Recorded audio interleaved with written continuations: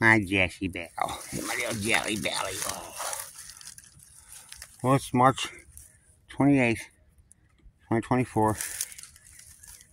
And we got decent rain the other day when my brother was here. But it's been pretty cold ever since. Been getting like freezing at night. Oh, there's Chippy, Chippy. Is that Frank? That's Frankie. Frankie, what are you doing? She's like the old. She's like the mama of the of the calicos. No, she's a sister. Yeah, but uh, she's the older one. Anyway, back here in my mushroom patch, there's that little half-free peckerhead morel. It growed. That's been getting pretty cold at night. So I've been had a heavy frost this morning, pretty pretty good frost. And but it's supposed to be getting like 70s and 50s for the next few days, then get back down to 50s and 30s, of course. So mushroom should be popping. Anyway, come out here check on that one, see if it even made it through the frost. And I looked over here. And there's another fresh one. Yeah. Another little head popping up.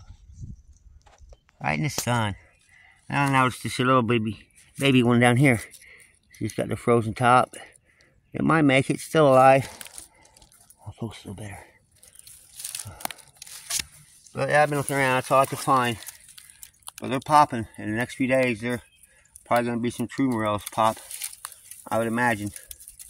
So I might be out looking, but today I think I'm going to go spark driving.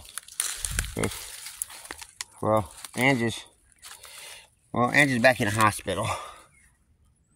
Her procedure didn't quite work. I mean, it, it relieved her obstruction, but it obstructed. She got clogged up again, so she had to go back in the hospital, and she's getting obstruction. There's my gay cats, Tommy and Bobo. They're brothers, and Bobo's always trying to hump Tommy. I don't know. Probably getting ready to do it now. Weirdo. But anyway, she got to have her obstruction surgery Friday. And then next Friday, they're going to do another surgery because she got cancer again. Yep, she got the fucking cancer again. And got a tumor with cancer.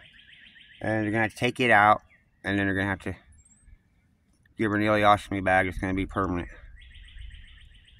So that should stop the obstructions. But luckily she to have to do chemo this time. But she's still to have to do radiation. And that shit about killed her last time. So please pray for her, everybody. Because I'm really scared.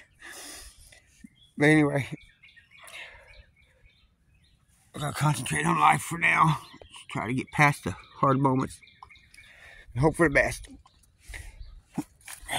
So anyway, I think I'm just gonna go sparking today, make some money. And my dog, Lucio Kai. Hey Kai, come here, buddy.